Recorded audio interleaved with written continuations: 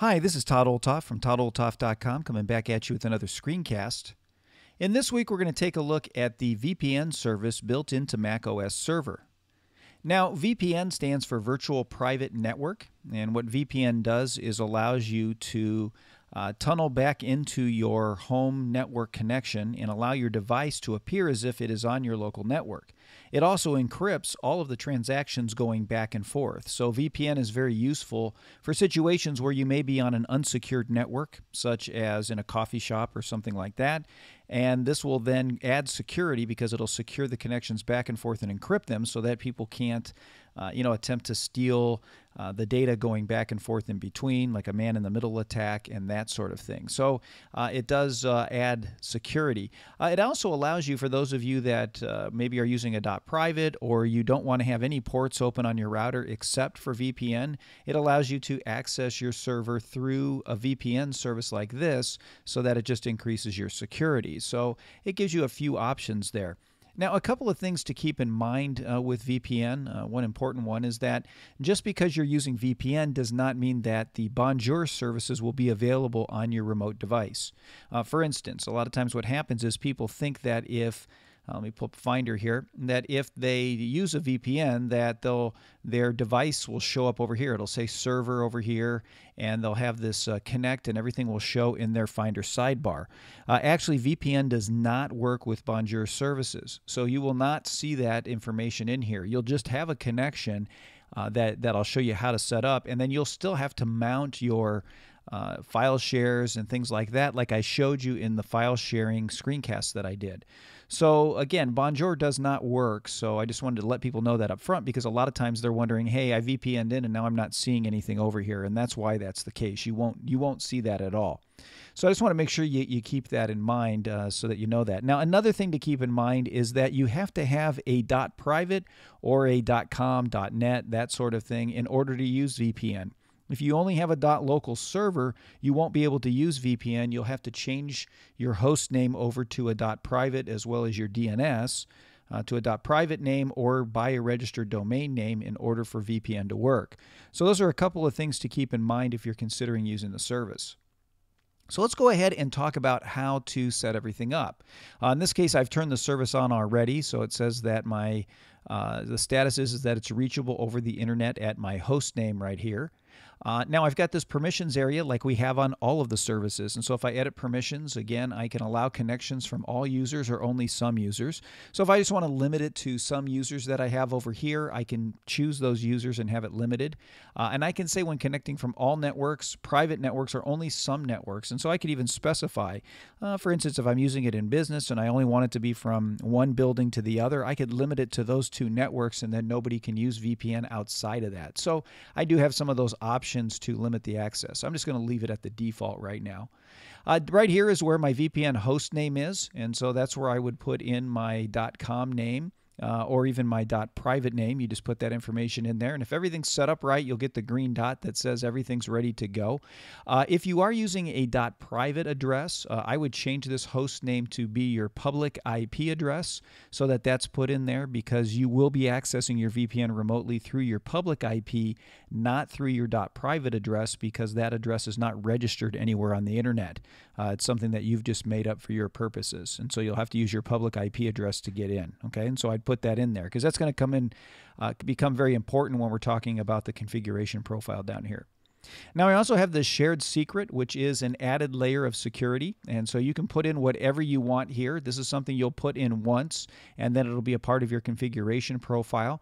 And so you want it to be something that's, you know, secure, uh, maybe long, that kind of thing. And, uh, and what that is, is the server will then check against not only your username and password, but also against the shared secret to make sure that it has the right server and that you're not being spoofed or that somebody's trying to hack into your system. So again, just another layer of security there. And you can click this show button and it'll show you what you have in there for the shared secret. Now, here is where we have the client addresses. And one of the things I want you to notice is that everything now is L2TP, which is Layer 2 Tunneling Protocol. That's what that stands for. We used to have in previous versions of server uh, PPTP, uh, which was an older protocol. And so that has been deprecated now so that that's no longer available. So we're only using the new standard of L2TP. So that's gone. In the old version, there was a drop down up here that allowed you to select which one you wanted to use. So if you need to use PPTP, then you're kind of out of luck uh, in Mac OS Server. You may have to downgrade to the El Capitan version in order to get that working. But just wanted to let you know that that's there and has been removed. Now I can edit the client addresses here. And what I want to do is I can assign as many addresses as I want, depending on how many people I think are hitting the network. Uh, I've just left this at the default. 31 is probably way too high. I could lower that down to the few devices that I think are going to hit the internet and maybe a few more just to be safe.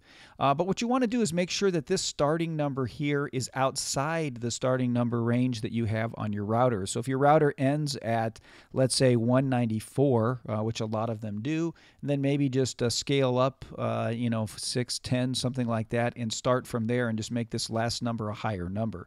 So this, if you can see, if I hover over this, you can see my range is from 200 to 230 uh, because I've got, you know, 31 assigned addresses there. So, uh, and that includes the 200. So anyway, um, that's how that works. You just want to make sure that's outside your IP range. So let me just cancel here. Now down here we have DNS uh, settings, and so let's go ahead and edit those for a minute. And so what this will do is give you DNS uh, servers to connect clients to. And so what you want, what will happen is you want to have your server's address here, so the static IP that you created for your server. You'll notice mine's changed a bit because I'm experimenting with the Eero um, Wi-Fi system here uh, to see how that works. And so their default was in the 192 range. Uh, previous screencasts I've done a 10.0.1.3, and that's what would show here. So sorry for the confusion there. I'm just kind of experimenting with it, um, but that's why that number is there. And then these two are OpenDNS addresses that I put in there because I want my clients uh, to be going to be going through OpenDNS for all of their external addressing. Okay, so that's why that's there. Now I can also provide search domains uh, to connected clients if I wanted to. You know, if I hit the plus here, I can put in a domain name, um, whatever that would be uh, for search domains. Uh, a lot of times your local IP will have their own search domain that may show up here by itself. Uh, in my case, I don't have one that I've assigned, so that's just blank. So I'm going to cancel that and leave that alone.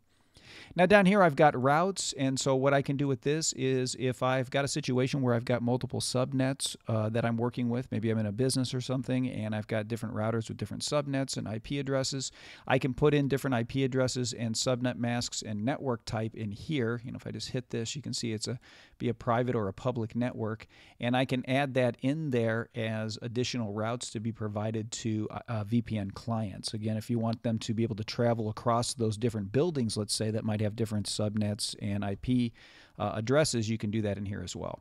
So I'm just going to cancel that because I don't have that situation.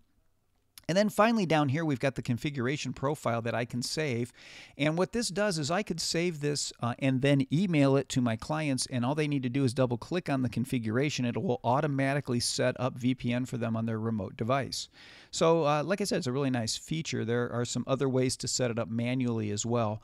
Uh, but this is one of the fastest ways to make sure that your clients or whoever you're working with uh, that you want to have VPN can just have a one uh, double click, easy setup uh, with everything already plugged in, so you don't have to give them the shared secret and all of that.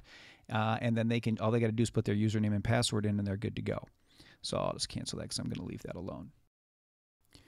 Okay, now one more thing you want to do before we go ahead and test the VPN service is you want to make sure that you've got all of the ports open on your router. And so on the screen here, I'm going to put the ports that you can open. If you've got an Apple router, it will automatically ask you if you want the ports opened when you turn on the service, which is great. That is one of the advantages of having an Apple router is that it integrates well with server. And so that'll all be taken care of. But I just want to make sure we have the proper ports open or otherwise VPN will not work. So make sure you're opening those ports on your router. So now that we've got everything set up and ready to go, what I'm going to do is do a screen share to a remote device here and show you what it looks like to connect to VPN on a Mac. Okay, so here we are over on a screen share of my Mac. And so I'm here in System Preferences. And so you want to come down to Network, and that'll take us into the network area here. And what we're going to do is over here, we're just going to hit the plus button to set up a VPN service. So if I just hit the drop down here, I'm going to select VPN. And we're looking for that right there, L2TP over IPsec, okay, because that's the type of VPN we set up in our screencast. And we can name it whatever we want. So I'm just going to say, let's say server VPN and say create. And so now I've created this new service with Server VPN. So what I need to do is in the configuration, you can see it says default or add a configuration. Again, if I sent the configuration profile, I could just double click on it and have it work. Uh, but instead, I've got to fill all this stuff in manually. I just want to show you how to do that. So here I put the service address. Let me put that in. And then the password, uh, the account name that I need to put in there. So this would be the short name of your user account. So let me put that in there. And then we're going to hit this authentication settings. And so we've got this drop down here where we're going to put in the password and the shared secret. So let me go ahead and put that in there. And then when I have that done, we'll go from there. Okay, now that I've got that information in there, I've put both my password and shared secret in. I'm just going to say OK. And so now everything's set up and configured. Now you'll notice down here I've got this show VPN and status uh, status and menu. If I just check that, you'll notice I've got this little icon up here that will allow me to uh, connect to VPN. Okay, that'll set it up. You see it says it's not configured because I need to hit apply here. And so now that it's applied all of that, if I click on this, you'll see that I've got connect to server VPN. So I can trigger that right from the menu here if I want to do that, or I can do it within system preferences. So it just makes it more convenient. So let's go ahead and hit connect here, and we're going to go ahead and go through the connecting process. Up here it's connecting, and now you can see I'm connected. And so it's giving me that IP address of 230, and you can see it's got sent and receive information, tells me my connected time. I've got a green dot over here, and so my VPN service is all configured. So that gives you an idea of how to set up that VPN service on a Mac. Like I said, you can use the configuration profile and just double click on it. It'll put all this in there for you. Uh, to disconnect, I can do it from here, or again, if I'm just using this, I can come up here and say disconnect VPN, and it'll do that, and now it's back to being disconnected. Okay, so that shows you how to set up VPN on Mac OS Server. Again, not too much has changed from previous versions of Server other than you just can't use that PT, uh, PPTP service uh, anymore.